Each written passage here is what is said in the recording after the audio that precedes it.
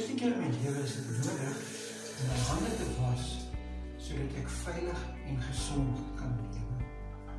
God het ewe terug in Jesaja vir ons uitgenooi om na hom toe te kom en onsself te was en te reinig. En Jesaja 1 verduidelik God dat ons dit doen wanneer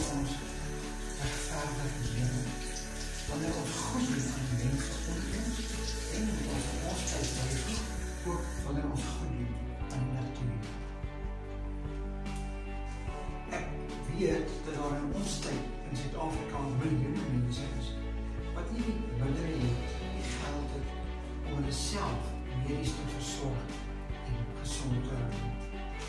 Soos daar nou in hierdie week in Portugal met 'n groot groep mense wat sê ons gaan ons nie skeer aan die regering se gesondheidsmaatreëls nie. Want ons leef al vir 2 jaar sonder water en elektrisiteit. Ek kan baie praat oor die minute van ons aan hulle laat reggeskied en regverdig doen hulle optree? Ons het nie die geld om dit te doen nie. Ons is te min mense om dit te doen.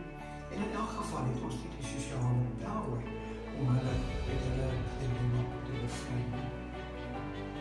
God sê in Jesaja in Hoofstuk 1 sê God vir ons ek wil julle gebruik sodat die wêreld kan sien dat ek 'n regverdige God is. Waarom wil ek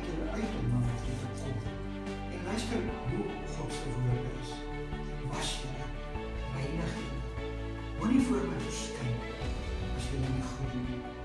Hou op met kwaad. Kom toe. Laat ons die saak uitmaak sê die Here. Of was jy 'n skarlaken rooi van sonde? Jy sal wit word soos sneeu. Jy sal so wit wees soos wol. Maar God was my reinig my. Was my hele my begeertes. Alles wat ek doen. En o God, reinig ons